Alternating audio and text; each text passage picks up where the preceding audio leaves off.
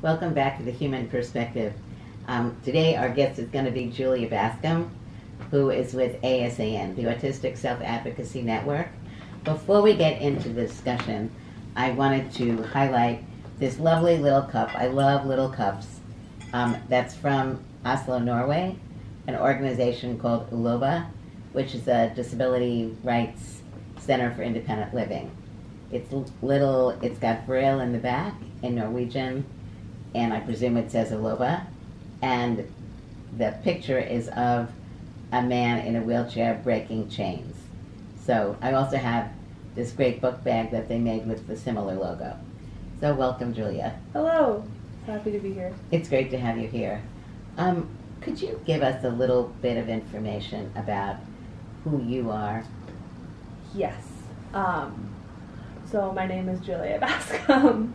um, I run the Autistic Self Advocacy Network, which is a disability rights organization focusing um, sort of on autism, run by and for autistic adults. Um, so I'm an autistic adult, and I have other disabilities as well. Um, I'm originally from New Hampshire. I grew up, you know, on a dirt road, um, and then I moved to DC, which is very different. Um, about five years ago, um, you're going to notice me fidgeting and so on and so forth. This is a Tangle um, which is just a toy to fidget with while I'm talking, which helps me, like a lot of autistic people, sort of concentrate on what's happening. And we actually have our name and our website on this as well. So it's a little bit of professional self promotion.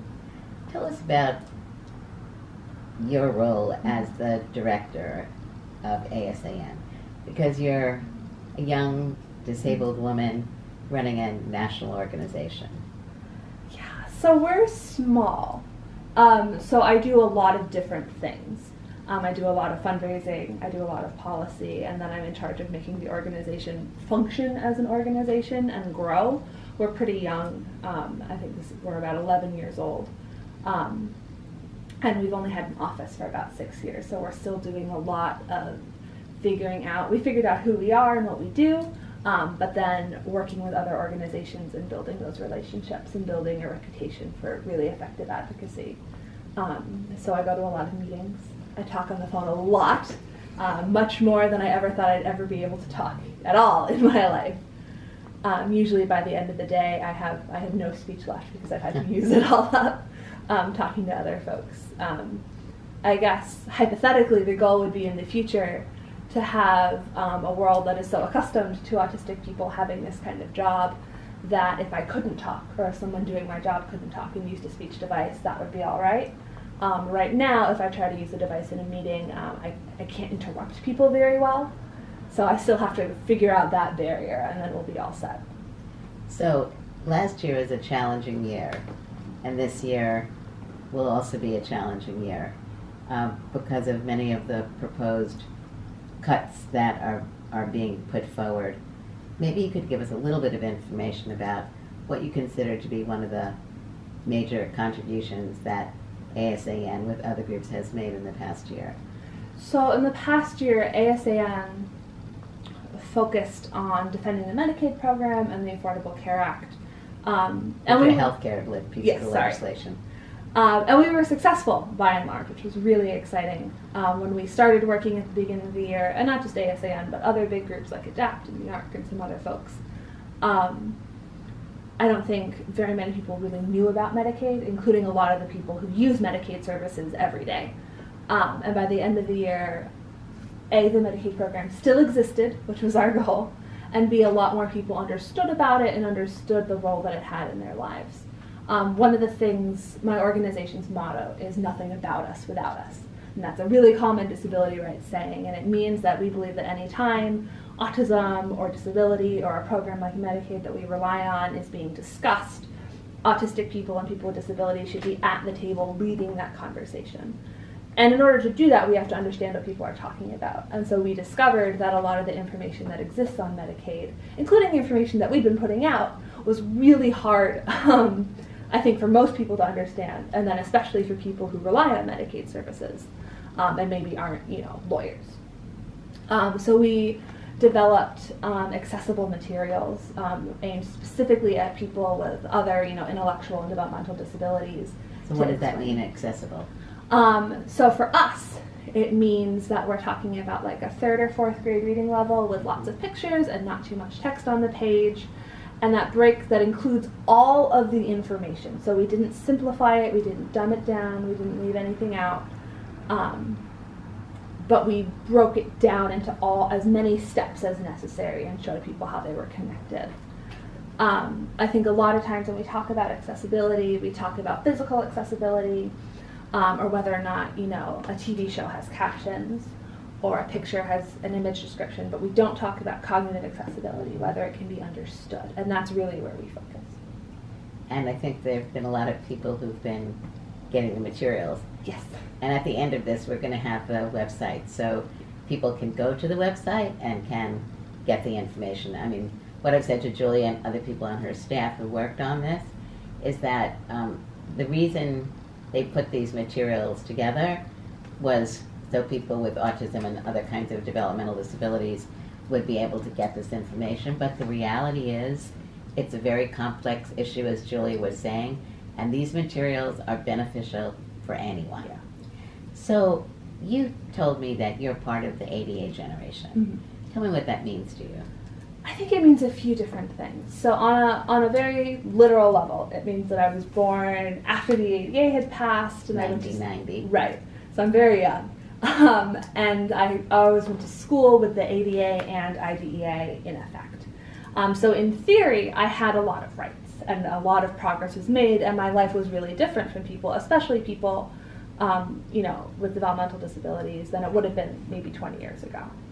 Um, but the flip side of that is that um, I, and I think a lot of other people in the ADA generation, really saw this gap between what our rights theoretically were in the law and what our lives were actually like. And we saw how far we'd come and how far we still had to go. Um, and that really propelled me to become involved in disability advocacy, first at the state level and then at a national level, because the work isn't done, because it's going to take a very long time. I think, I don't think I'm going to solve ableism. I think that there will be someone, you know, in my job 50 or 60 years from now, but hopefully we're closer. Mm-hmm. I have a question. Um, as a woman, Mm. myself a woman, you a woman, um, when I was growing up, I really had very few disabled women role models. And that was something that was a big issue for me, and it's better today, but still a big issue. How do you address that issue of getting role models and peers? I really feel that. Um, the first time I met um, other women who were autistic and who were parents, I cried. Just that that had never seemed like a possibility because I hadn't seen it. Uh, that hadn't been modeled for me. I didn't have a lot of references to draw on. I'm the first woman with my kind of disability leading like a, a national disability rights issue with a nat- organization or the national office, and that's really hard because you can't look to a lot of role models and exemplars and examples of people who've gone before you. Um, so I think a lot about talking to other people who have those similar experiences, even if that experience is also not having someone to look to. Mhm. Um, and I think the goal is for it eventually to be very commonplace and very boring. So right now, I think people have a really hard time um, conceiving of someone with like a cognitive disability having a leadership position, even though we've been doing that for a very long time. Um, and what we would like to see someday is for someone to have my job to be like me, like someone who needs support in a day-to-day life, someone who has a who's autistic or has an intellectual disability, um, and for that to just be normal and boring because people have seen those examples, they've seen those stories, they've seen it on TV, they have friends and family. One of the things about being a member of the ADA generation is that the kids I went to school with who didn't have disabilities went to school with students with disabilities, so they expect the world to look different than their parents did. Um, but it's a very slow process. So, carrying on with that theme, um, of late we've seen more representation of uh, characters in the movies and on TV who have various forms of disabilities. Mhm. And I'm wondering, are there certain principles that you uh, adhere to when you're looking at a film and something that you may want to share with the audience about what you think they should be thinking about when they're watching something? Yeah. So I think stories are really important, and, media often gives you a really good opportunity to tell stories that you aren't even seeing in your life. And so the first question is just like, is it a good story? If it's a story about a person with a disability, that doesn't mean I'm going to want to read it or watch it. Uh, it needs to be good. Um, and then beyond that, in terms of like the representation of people with disabilities ourselves, I think it has a lot to do with not not just has the writer like read a textbook, but do they know people with disabilities? Do they know that that our whole life isn't just a checklist of symptoms?